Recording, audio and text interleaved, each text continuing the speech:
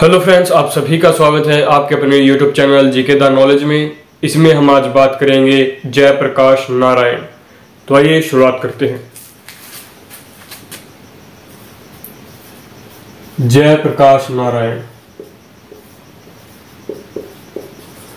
जयप्रकाश नारायण के अगर जन्म की बात करें तो इनका जो जन्म था, जयप्रकाश नारायण का तो जयप्रकाश नारायण का जन्म था वो 11 अक्टूबर 11 अक्टूबर 1902 को हुआ था। 11 अक्टूबर 1902 को हुआ था बिहार के, बिहार प्रांत के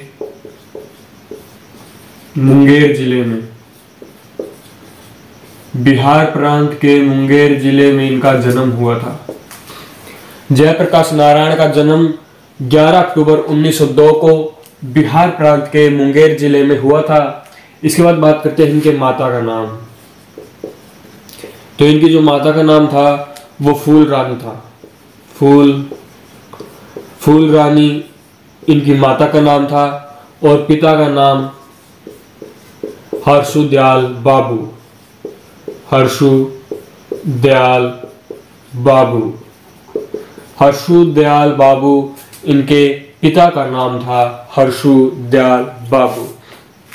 एक बार फिर से देखिए 11 अक्टूबर 1902 को जयप्रकाश नारायण जी का जन्म हुआ था और इनकी जो माता का नाम था फूल रानी, इनकी माता का नाम था, पिता का नाम हर्षु दयाल बाबू। हर्षु दयाल बाबू इनके पिता का नाम था। अब बात करते हैं इनके विवाह की। इनके विवाह की बात करें तो 1920 में, यानी जब ये 18 वर्ष के थे 1920 में 18 वर्ष के थे, तब इनका विवाह हुआ था। विवाह हुआ। और विवाह हुआ था प्रभावती से। प्रभावती। प्रभावती देवी से इनका विवाह हुआ था 1920 को, और ये 18 वर्ष के थे जयप्रकाश नारायण जी। और इनकी जो पत्नी थी प्रभावती, ये 14 वर्ष की थी। इनकी जो पत्नी थी प्रभावती, ये 14 वर्ष की थी। उसके बाद बात करते हैं इनकी शिक्षा की। शिक्षा की अगर बात करें तो इन्होंने जो अपनी विद्यालय और महाविद्यालय की जो शिक्षा थी, विद्यालय और महाविद्यालय, विद्यालय और महाविद्यालय की जो शिक्षा थी, इन्होंने पटना से की थी। पटना से इन्होंने विद्यालय और महाविद्यालय की शिक्षा ग्रहण की। उसके बाद 1922 को 1922 को ये अमेरिका चले गए, ये कहाँ गए? अमेरिका। और अमेरिका इन्होंने एमए की परीक्षा पास की एमए की परीक्षा की। एमए के लिए या एमए की परीक्षा पास की।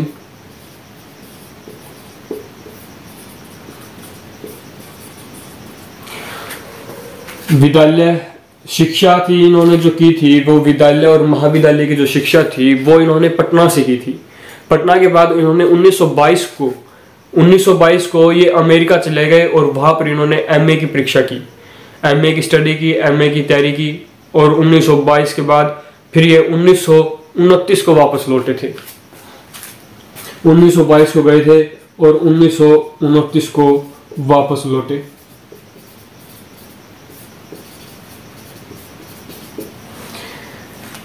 विद्यालय और महाविद्यालय की शिक्षा की थी। 1922 को अमेरिका गए और उन्नीस सौ उनतीस को वापस लौटे थे।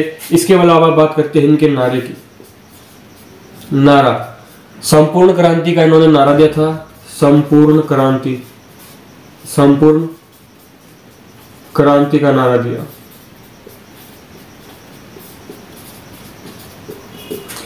जयप्रकाश नारायण जी ने संपूर्ण क्रांति का नारा दिया और ये इंपॉर्टेंट है। कई बार एग्ज़ाम में पूछा भी जाता है कि संपूर्ण क्रांति का नारा किसने दिया? तो संपूर्ण क्रांति का जो नारा था, वो जयप्रकाश नारायण जी ने दिया था। जयप्रकाश नारायण ने संपूर्ण क्रांति का नारा दिया था।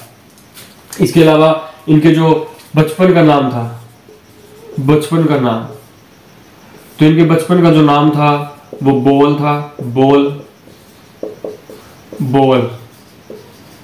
बोवल इनके बचपन का नाम था। बचपन में इनको बोवल के नाम से गायकर संबोधित किया जाता था।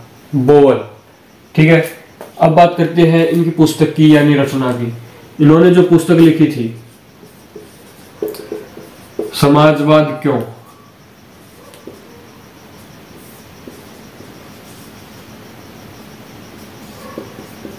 इनकी पुस्तक का नाम है, समाजवाद क्यों? और ये भी इंपोर्टेंट है, पूछी जाती है, समाजवाद क्यों के लेखक कौन है? तो समाजवाद क्यों जयप्रकाश नारायण जी ने लिखी थी? तो ये दो इंपॉर्टेंट है। एक, इनके जो नारा है, संपूर्ण क्रांति का नारा, जो नारा किसने दिया था? जयप्रकाश नारायण ने। और दूसरा इंपॉर्टेंट है, इनकी पुस्तक समाजवाद क्यों, कि समाजवाद क्यों पुस्तक किसने लिखी थी? और इनका एक अन्य नाम है लोकनायक लोग इनको लोकनायक के नाम से जानते हैं। लोकनायक लोगों के नायक। लोकनायक के नाम से इनको जाना जाता है।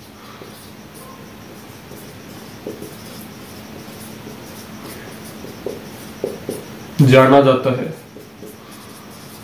कि लोकनायक से किसको जाना जाता है, ये भी इंपॉर्टेंट है। कि लोकनायक के नाम से किसको जाना जाता है तो जयप्रकाश नारायण जी को लोकनायक के नाम से जाना जाता है। ठीक है? इसके बाद इनके राजनीतिक करियर की बात करेंगे।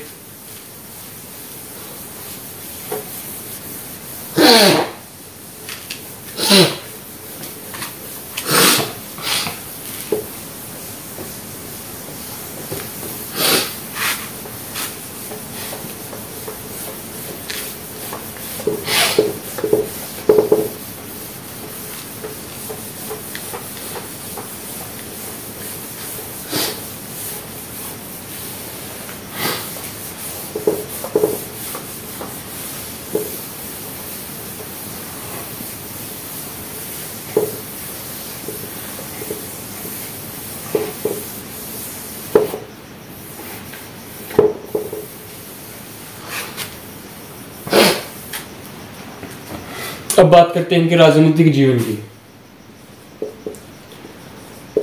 राजनीतिक जीवन। तो इन्होंने अपना जो राजनीतिक जीवन था, वो 1920 में किया था। 1920 में असहयोग आंदोलन असहयोग आंदोलन। जो असहयोग आंदोलन चलाया गया था महात्मा गांधी जी के द्वारा, उससे इन्होंने अपने राजनीतिक जीवन की शुरुआत की थी। ये इस आंदोलन में इन्होंने भाग लिया था। उसके अलावा जब ये भारत से लौटे थे, मैंने बताया था, उन्नीस सौ उनतीस को जब ये भारत से लौटे, वो अमेरिका से लौटे लौटे, उन्नीस सौ उनतीस को, तब जवाहरलाल नेहरू जवाहरलाल नेहरू जवाहरलाल नेहरू ने इनको कहा कि आप भारतीय राष्ट्रीय कांग्रेस में शामिल हो जाए। कांग्रेस में शामिल हो जाए। और ये कांग्रेस में फिर शामिल भी हो गए थे तो उन्नीस सौ उनतीस को वापस लौटे और जे एल कांग्रेस, जवाहरलाल नेहरू ने कांग्रेस में लौटने के लिए, कांग्रेस में शामिल होने के लिए कहा तो ये शामिल हुए। उसके अलावा बात करते हैं 1942 में इन्होंने जो भारत छोड़ो आंदोलन में भी भाग लिया।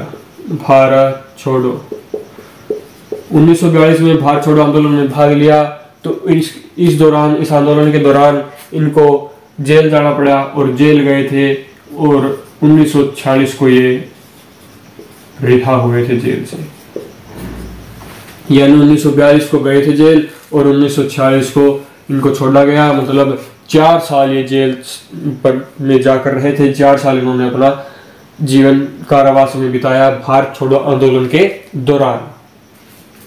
तो इनका जो जीवन था 1920 में ये जो थे ऐश्वर्य आंदोलन से इन्होंने अपनी शुरुआत की थी, राजनीतिक करियर की। उसके बाद उन्नीस से जब ये भारत से लौटे तो ये कांग्रेस में शामिल हो गए। और कांग्रेस में शामिल होने के बाद जब 1942 को जो एस, जो भारत छोड़ो आंदोलन चलाया महात्मा गांधी ने तो उसके दौरान इनको जेल जाना पड़ा और उन्नीस को जेल से रिहा हुए। उसके अलावा इन्होंने स्थापना भी की थी उन्नीस सौ जो है चौतीस को। उन्नीस को इन्होंने कांग्रेस कांग्रेस समाजवाद पार्टी। कांग्रेस सम, समाजवादी पार्टी और 1900 जो है 40 इन्होंने स्थापना की थी प्रजा समाजवादी पार्टी।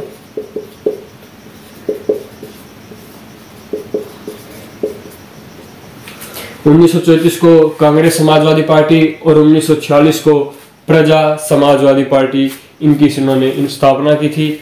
और इसके अलावा जो एक घटना हुई थी 1900 चुम्बन में, एक और है, उन्नीस में ये भारतीय, स्वतंत्र भारतीय राजनीति से संतुष्ट नहीं थे, जिसके कारण उन्होंने राजनीति से संन्यास ले लिया।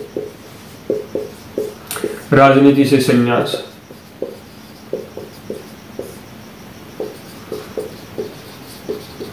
राजनीति से संन्यास ले लिया क्योंकि वे स्वतंत्र भारत की जो राजनीति थी, उससे संतुष्ट नहीं थे। स्वतंत्र भारत की जो राजनीति थी, उससे संतुष्ट न होने के कारण उन्नीस सौ चौवन को इन्होंने संन्यास ले लिया था भारतीय राजनीति से। इसके बाद एक घटना घटी उन्नीस सौ इकहत्तर को। उन्नीस सौ इकहत्तर को पांचवी लोकसभा हुई। पांचवी लोकसभा के चुनाव हुए। पांचवी लोकसभा के। और लोकसभा चुनाव हुए जिसमें इंदिरा गांधी प्रधानमंत्री बनी। इंदिरा गांधी। जब इंदिरा गांधी प्रधानमंत्री बनी तो जो इंदिरा गांधी की सरकार आई तो इस सरकार ने क्या किया? लोगों की समस्याओं को हल नहीं किया। ये लोगों की समस्याओं को हल करने में असफल रहे। क्या रहे? लोगों की समस्याओं को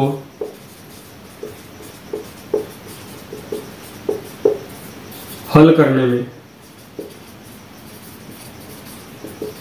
असफल रहे। और असफल होने के कारण तो बिहार के जो विद्यार्थी थे, उन्होंने भ्रष्टाचार, महँगाई, जो बेरोजगारी है, उसके खिलाफ ये काला बाजारी के खिलाफ संघर्ष करना शुरू कर दिया। जो बिहार के विद्यार्थी थे, बिहार के विद्यार्थी, बिहार के विद्यार्थियों ने, बिहार के विद्यार्थियों ने महँगाई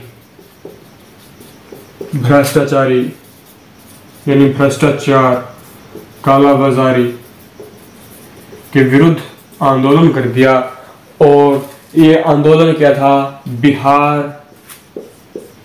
राज्य छात्र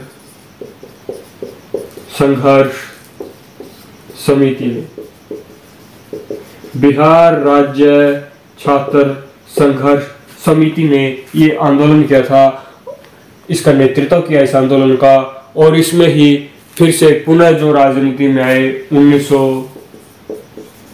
चौहत्तर को राजनीति में आए जे पी नारायण।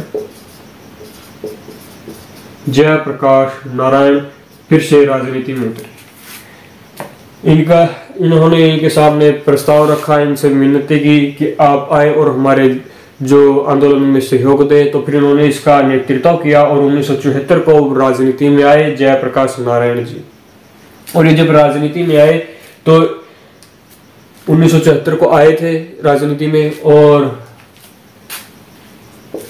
उनासी को 8 अक्टूबर उन्नीस सौ उनासी को इनकी मृत्यु हुई। इनकी मृत्यु हो गई थी 8 अक्टूबर उन्नीस को। इसके अलावा एक और जो महत्वपूर्ण था कि उन्नीस सौ अट्ठानवे को इनको भारत रत्न दिया गया। भारत रत्न इनको दिया गया उन्नीस सौ अट्ठानवे को। उन्नीस सौ सतहत्तर को जो गैर कांग्रेसी जो पार्टी थी, यानी बीजेपी का संगठन करने में इनका महत्वपूर्ण योगदान था। इनका बहुत ही महत्वपूर्ण योगदान था। जो बीजेपी बनाई गई थी, जो बीजेपी पार्टी, उसको बनाने में इनका महत्वपूर्ण योगदान था और पहली गैर कांग्रेसी पार्टी बनाई गई थी उन्नीस को। तो ये था जयप्रकाश नारायण का। आई होप आपको ये अच्छा लगा होगा। अगर आपको ये वीडियो पसंद आए तो लाइक शेयर सब्सक्राइब करना ना भूले। धन्यवाद। जय हिंद।